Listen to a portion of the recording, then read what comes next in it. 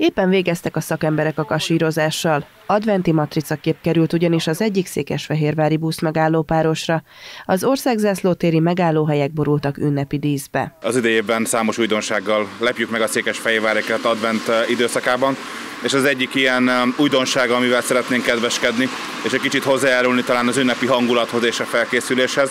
Ezért a Városgondnoksággal közösen úgy döntöttünk, hogy az idejében egy buszmegálló párt itt a Várkörúton a Család és Növődelmi Központ, illetve a múzeum egyik intézménye mögötti buszmegállót feldíszítjük, és karácsonyi adventi hangulatú matricákkal díszítjük.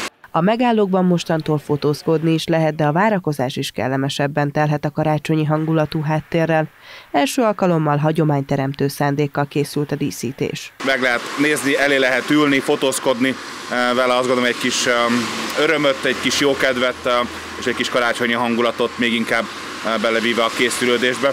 Én kívánom, hogy sokan jöjjenek erre, nézzék meg, fotózkodjanak családok, baráti társaságok, és élvezzék a Fehérvári Advent adta lehetőségeket. A busz megálló díszítése Simon Erika fotóiból készült. A montázs az ünnepek alatt díszíti majd a kétvárosi buszmegállót.